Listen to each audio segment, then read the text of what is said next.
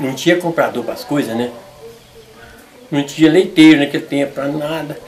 É, a gente tá, tirava o leite, é, fazia o requeijão para despesa, queijo para despesa. Não tinha comprador. Você criava as galinhas, não tinha comprador para aquilo. Você engordava um porco a mais, só quando meu pai é, levava para Pirapora.